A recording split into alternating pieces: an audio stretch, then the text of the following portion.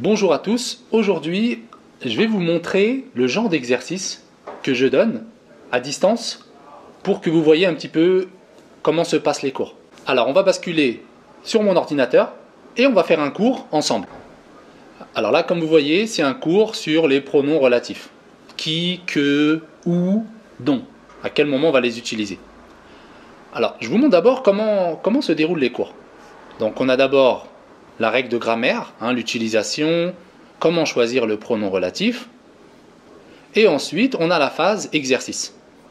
Donc ici, on a un exercice qui, que, où, euh, complétez les phrases en utilisant qui, que, où, euh, faites une phrase en utilisant dont. On a aussi pareil ici, qui, que. Et le dernier exercice, c'est la partie écrit. Hein, dans chaque cours, on a une petite partie écriture. C'est là où vous allez pouvoir travailler la structure des phrases, travailler l'orthographe, etc. Alors, si vous voulez, on va lire déjà le cours. Alors, les pronoms relatifs, qui, que ou dont. Alors, l'utilisation. Le pronom relatif sert à relier deux phrases. On utilise le pronom relatif pour relier deux phrases. On a une phrase, on a une autre phrase, on veut relier les deux. Alors on place le pronom après le mot qu'on ne veut pas répéter. Hein, on a deux phrases, dans chaque phrase on a un mot. Et comme on ne veut pas répéter le même mot dans les deux phrases, on utilise le pronom relatif. C'est le pronom relatif qui va il va remplacer le mot. Par exemple, j'ai acheté une voiture. La voiture est une Peugeot. Donc j'ai deux phrases. Première phrase, j'ai acheté une voiture. Deuxième phrase, la voiture est une Peugeot. Alors pour faire une seule phrase, je vais utiliser ici le pronom relatif qui. Je vais dire j'ai acheté une voiture qui est une Peugeot. D'accord? J'ai acheté une voiture qui est une Peugeot. Donc ça c'est l'utilisation. À quoi ça sert le pronom relatif? Maintenant on va voir comment choisir. Hein, comment est-ce qu'on va faire la différence entre qui, que, où et dont? À quel moment on utilise l'un ou l'autre? Alors le pronom qui, on utilise qui? Donc, hein, je répète, hein, le pronom relatif, il va remplacer un mot. D'accord? Vous êtes d'accord avec moi? Il remplace un mot. Maintenant, on va voir le mot. Quelle fonction il a dans la phrase? La fonction, c'est-à-dire, est-ce que c'est un sujet? Est-ce que c'est un complément? Est-ce que c'est un complément d'objet direct? Vous voyez, c'est ça la fonction. Donc là, le mot, par rapport à sa fonction, on va utiliser un pronom relatif. Si par exemple, le mot c'est un sujet, donc si le mot c'est un sujet, j'utilise le pronom relatif qui, comme ici. Donc qui c'est pour le sujet. Un exemple dans la phrase, nous avons visité un château qui était au milieu de la campagne. Maintenant, il faut essayer de refaire deux phrases avec une phrase pour bien comprendre. Donc si j'ai deux phrases, nous avons visité un château, Hein, point. Nous avons visité un château. La deuxième phrase, le château était au milieu de la campagne. D'accord? La deuxième phrase, c'est ça. C'est le château était au milieu de la campagne. Donc si je regarde dans la phrase, le château était. Donc ici, le château, c'est le sujet. Donc comme le château, c'est le sujet, eh bien je vais remplacer le château par qui? Donc on voit ici, le qui, il remplace les mots quand les mots sont des sujets. Quand c'est un sujet, on prend, on utilise qui. Maintenant, si le mot, c'est un complément d'objet direct, si le mot ou le groupe de mots, le groupe nominal, hein, on peut l'appeler comme vous voulez, on va dire les mots, comme ça c'est plus simple. Si le mot est un complément d'objet direct, à ce moment-là, j'utilise que. Hein, j'utilise pas qui. Qui, c'est pour le sujet. On a vu qui, c'est le sujet.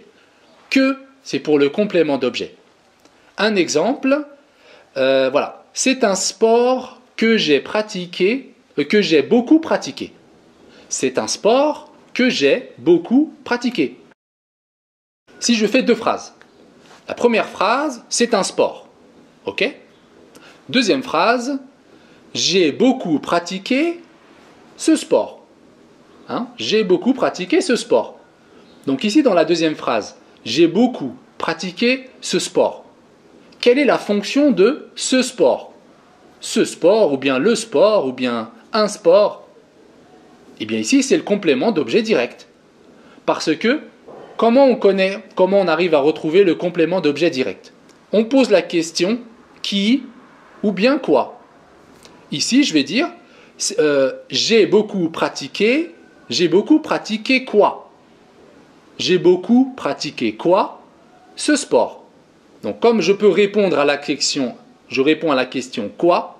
Donc ce sport, c'est le complément d'objet direct. Et donc, quand le mot est un complément d'objet direct, on n'utilise que. Pour le pronom ou, on va utiliser ou quand la fonction, la fonction du mot est un complément de lieu. Donc quand le mot c'est un complément de lieu, on utilise où? Par exemple, Paris est la ville où j'ai passé mon enfance. Paris est la ville où j'ai passé mon enfance. Donc le où ici, hein, le où il remplace la ville. Paris est la ville où? Donc on va essayer de faire deux phrases. Première phrase, Paris est la ville. Deuxième phrase, j'ai passé mon enfance dans cette ville. D'accord? Donc, on répète deux fois. Paris est la ville, j'ai passé mon enfance dans cette ville. Donc, pour éviter la répétition, hein, parce que n'est pas très joli, on utilise le pronom. Et là, on va utiliser le pronom ou, parce que dans la phrase, dans cette ville, c'est le complément de lieu. Comment on sait que c'est un complément de lieu? On pose la question où? On va dire j'ai passé mon enfance où? J'ai passé mon enfance où? À quel endroit? Où? Bon là la réponse c'est dans cette ville. Donc ici on voit que la ville c'est le complément de lieu. C'est pour ça que j'utilise où. On continue, on va voir le pronom dont. Cette fois-ci on voit le pronom dont. Alors le pronom dont, on l'utilise on va dire pour trois situations, hein, pour trois fonctions. La première fonction c'est quand on a un complément du verbe, complément du verbe, mais cette fois-ci avec deux. Hein, ce sont des verbes qui fonctionnent avec deux. Par exemple, c'est une affaire dont on, dont on parle beaucoup à la télé. C'est une affaire dont on parle beaucoup à la télé. Alors pourquoi j'ai utilisé dont On va faire deux phrases. C'est une affaire, point. On parle beaucoup de, euh, on parle beaucoup de cette affaire. D'accord? On parle beaucoup de cette affaire à la télé. Alors, donc, pourquoi on utilisait don Parce que avec le verbe parler, on dit on parle de quelque chose. Hein on parle de cette affaire. On parle beaucoup de cette affaire. Avec le verbe parler, on utilise la préposition de. On parle de. C'est pour ça justement qu'on le remplace par don. Ici, le don, il remplace de cette affaire. On parle de cette affaire. Donc, quand j'utilise de, si je veux utiliser un pronom relatif, quand il y a de, j'utilise dont. C'est une affaire dont, dont on parle beaucoup à la télé. Donc, avec, donc on a vu, hein, avec les compléments du verbe, avec de. Une deuxième situation, cette fois-ci, c'est le complément du nom avec de. Un complément du nom avec de. Donc il y a beaucoup de compléments de nom comme ça qui fonctionnent avec de. Par exemple, nous avons logé dans une villa dont le prix était vraiment raisonnable. D'accord On raconte nos vacances. Nous avons logé, nous avons habité, hein, nous avons habité dans une villa. Nous avons logé dans une villa dont le prix était vraiment raisonnable. Alors là, c'est quoi? Deux phrases. Nous avons logé dans une villa. Le prix de la villa était vraiment raisonnable. Donc on a le prix de la villa. Ici, de la villa, c'est le complément du nom prix. Hein, on a le prix de la villa. Donc quand on a de, comme tout à l'heure, hein, cette fois-ci c'est sur le nom, de quelque chose, sur un nom, on utilise don. Donc là, c'est pour ça qu'on dit, c'est une affaire, euh, nous avons logé dans une villa dont le prix était vraiment raisonnable. Donc c'est le prix de. Et la troisième fonction, on utilise aussi don quand on veut compléter un adjectif. Cette fois-ci, on complète un adjectif. Par exemple, c'est une villa dont le propriétaire est très fier. pourquoi j'ai utilisé don On va faire deux phrases. C'est une villa, point. Le propriétaire est très fier de, de cette villa ou de la villa.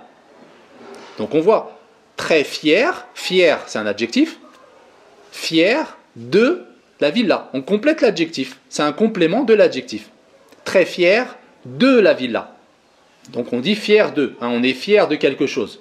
Donc dès que vous voyez de, que ce soit pour un verbe, que ce soit pour un nom, pour un adjectif, on utilise don. Voilà, donc maintenant on a vu, hein, on a vu les règles.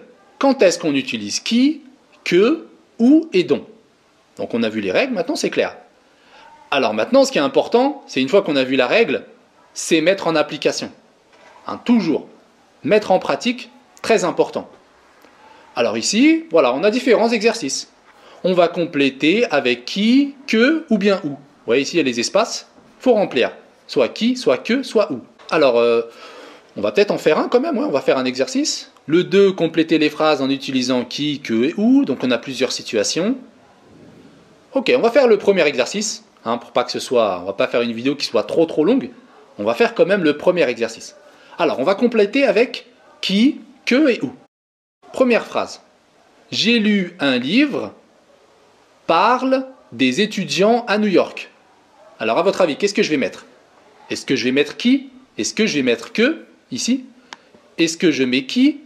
Est-ce que je mets que? Est-ce que je mets où? Donc il faut se rappeler de la règle. Le qui, c'est pour le sujet, le que pour le complément du verbe, hein, le COD, et le où, le complément de lieu. Alors j'ai lu un livre, on va dire j'ai lu un livre qui parle des étudiants à New York.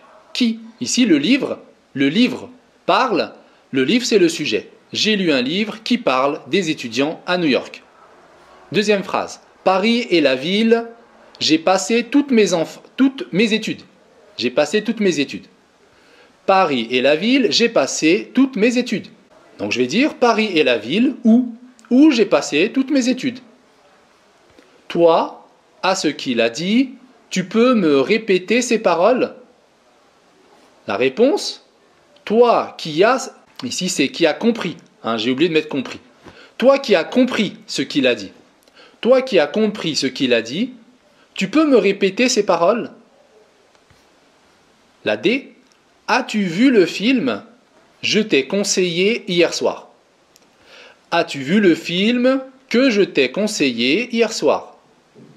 Je me souviens encore du jour j'ai réussi mon examen. Je me, souviens encore du jour où j'ai réussi mon examen. Le Maroc est un pays j'aime beaucoup. Le Maroc est un pays que j'aime beaucoup. La ville, je me suis inscrit, va recevoir un prix spécial.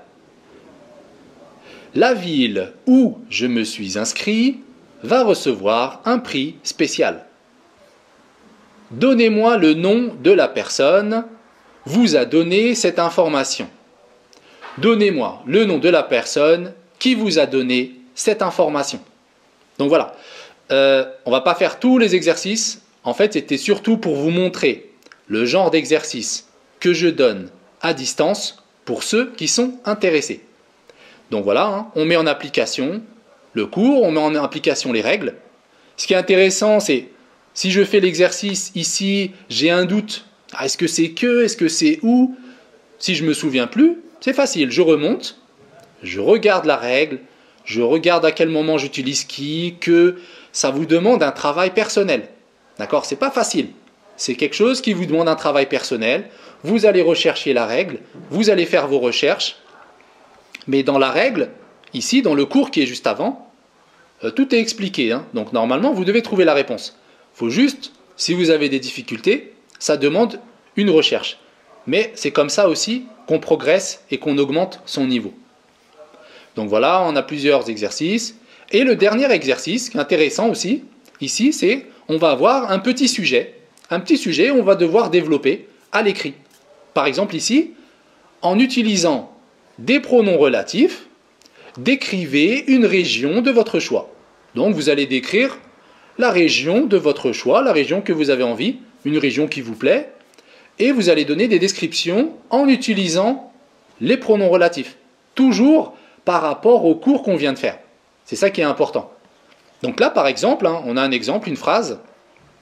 Le haut Atlas est une chaîne montagneuse qui se trouve au Maroc. Voilà, ici j'ai utilisé le pronom relatif qui. Oui, je mets en pratique. Et après, bien sûr, je continue, je mets plusieurs phrases. Donc voilà, vous voyez un petit peu le genre d'exercice que je donne à distance. Si vous êtes intéressé par les cours, c'est quand même intéressant, hein. ça va vous permettre d'avoir un rythme de travail, ça vous permet de voir plusieurs règles de grammaire, et avec le temps, bien sûr, ça vous permet d'augmenter votre niveau de français. Donc je vous explique un peu comment ça marche. Chaque vendredi, chaque vendredi, je vous envoie deux cours comme celui-là. Il y a plusieurs niveaux. Donc c'est chacun suivant son niveau. Il y a le niveau débutant, niveau moyen, on va dire, et niveau confirmé. Donc on a trois niveaux différents, chacun par rapport à son niveau. Mais voilà, avec le temps, vous allez progresser.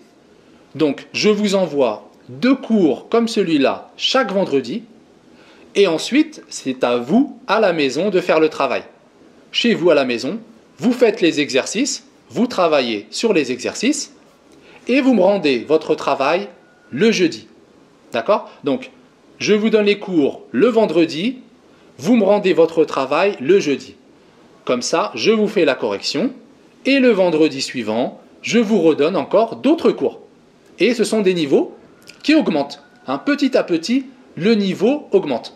Voilà, c'est une méthode que je vous propose pour pouvoir progresser en français et augmenter son niveau de français.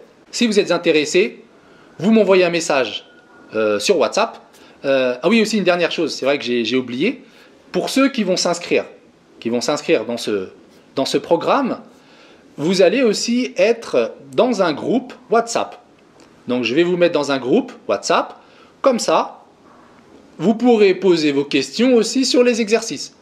Donc vous avez les cours qui vous aident, vous avez la règle de grammaire. Mais bien sûr, si vous n'avez pas bien compris ou bien vous avez des difficultés sur un, certain domaine, hein, un domaine en particulier, vous pouvez poser votre question dans le groupe WhatsApp. Donc voilà, il y, a, deux choses. Il y a les cours et il y a aussi un groupe qui est privé spécialement pour ceux qui font les exercices. Ce sont des cours payants, hein, vous avez compris que ce sont des cours payants. Si ça vous intéresse, envoyez-moi un message sur WhatsApp et je vous donnerai encore plus d'informations. Voilà, d'ici là, prenez soin de vous et je vous dis à la prochaine.